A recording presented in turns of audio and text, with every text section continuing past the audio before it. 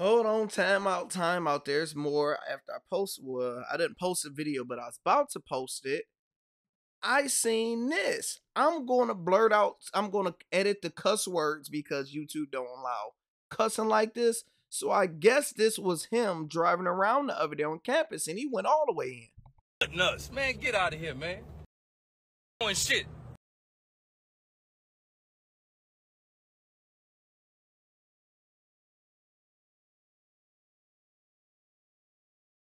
Been mutton and showing shit. I chose not to, but now I'm out here walking with the football team, picking up trash.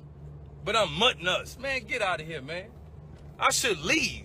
I'm not even under contract doing this. I'm mutting us, man. Get out of here, man. They mutt me. These motherfuckers ain't even clean my goddamn office when I got here. I'm mutting y'all. Get your ass, man. Come on, man. Come on, man.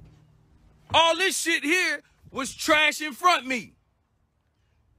Who you think got this shit cleared out? That building right there got trash in it. It's fucking trash. What are you talking about? Need no goddamn donors to come out and help out, cause people just want money. That's why I don't have, that's why I don't fuck with social network. Fuck out of here, man.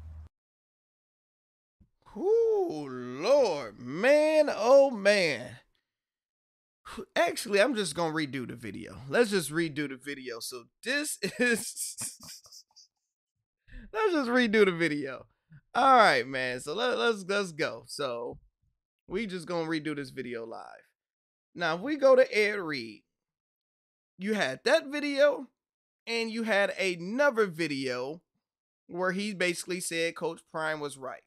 Let's just go to that video. I'm not even gonna show you a, a long clip of it when he said this. Not wrong. Prime was not wrong about what he was saying. All y'all out there with y'all opinions, full of crap, don't know shit.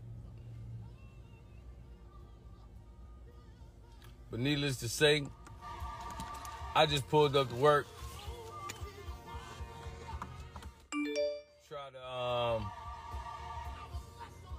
We're gonna try to help y'all too, man, because I know a lot of HBCs need help. I'm just here to help here first. So most of us seen that video. What he just did was issued an apology. Let's read the apology. He did it on the 16th. Was that yesterday?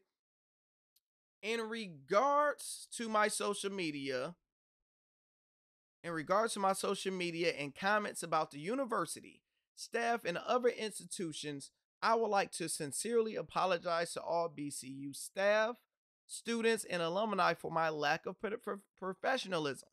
My language and tone were unacceptable as a father, coach, and leader. My passion for our culture betterment and bringing our foundation up get the best of me as I feel victim while engaging with antagonists on social media as well.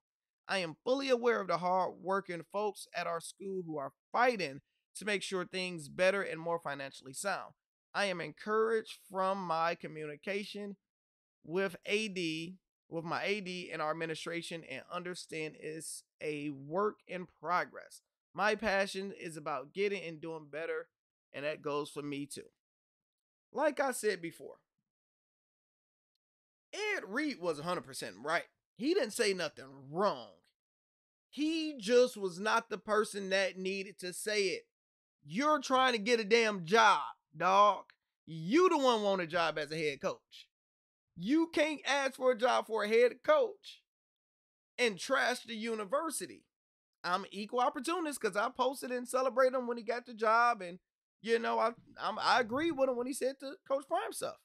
But I'm not a head coach. I'm not in a position. It looks terrible of you shitting on a university. Yes, you're right. Yes, you should 100% go to that job and your office should be decked out how Coach Prime office is in Colorado. Not as, oh man, we gotta still move boxes. That's nigga stuff. It's terrible.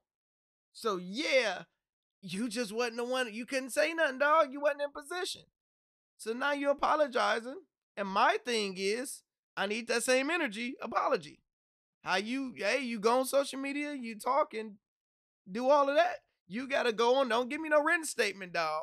Don't give me no written statement. You gotta have that same energy and go live and tell everybody you apologize and you're sorry and why you're sorry. It's looking bad. You haven't even coached one day. And it's already drama. I don't know how this is gonna go. I'm I'm rooting for him. I'm rooting for him. But I think it's going to be hard. That's why it's impossible. It's damn near impossible for others to do what Coach Prime just did. Let, let, let, let's break it down. People criticize Coach Prime. He is one of the greatest double playing sports athletes in in history. He is the greatest cornerback in NFL history. He's a Hall of Famer. You take somebody from this level, mansions, best cars, best quality of life, and go to Jackson State, Mississippi, which 99% of us never heard of until you went. People criticize him now. Crazy. You just take Ed Reed. Ed Reed, possibly one of the greatest to ever play this position. Not on prime level, but he's one of the greatest. He been there for a week and he can't handle it. One week because he is used to a certain quality of living and standard. Coach Prime didn't even have water. Water, running water for his team, and he still figured it out. Man. What's y'all thoughts, dog? What's y'all thoughts?